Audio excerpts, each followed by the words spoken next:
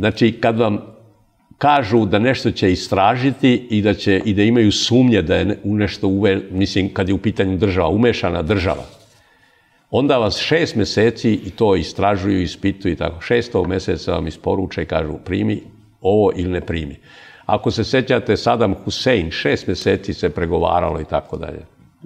Da, da dođu oni, one eksperti da ustanove i tako dalje. Atomska energija. Atomska energija i tako da je. Posle ispostavilo da je, da je stvari njegova tvrdoglavost, da je bolje da je primio pa da su to ispitali, ispostavilo se da, hemijska sredstva, sjećate se.